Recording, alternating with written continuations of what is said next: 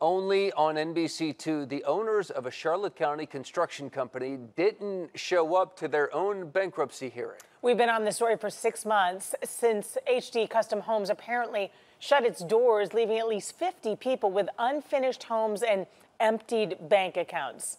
NBC2 investigator Rachel Polanski was there in court today as customers tried to get their money back. These homeowners drove from Charlotte County to Lee County to try and get some answers.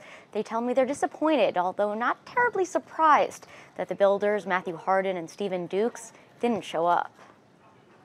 This former HD customer It's been very traumatic. has become used to disappointment. How much money are you at a loss right now? I think exactly it's probably about one $192,000. So nearly $200,000. Harriet Zimmerman signed on with HD Custom Homes in 2017. Weeks and weeks go by, nothing would happen. At the time, she and her husband were living in Virginia. And then we came down and um, they just said they ran out of money. She's one of at least 50 people who claim Matthew Hardin and Stephen Dukes took their money but didn't finish their homes. That's why she wanted to be at today's bankruptcy meeting. Just to show support that, you know, this is important to us. And we're going to go out of our way and just continue doing this until something happens. Federal court does not allow cameras inside proceedings. Is proceedings. that disappointing? but I was allowed to attend.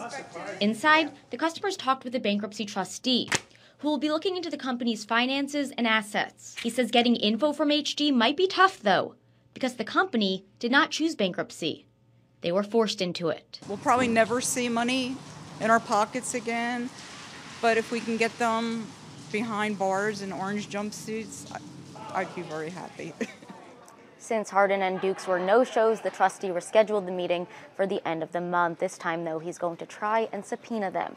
For the NBC2 investigators, I'm Rachel Polanski.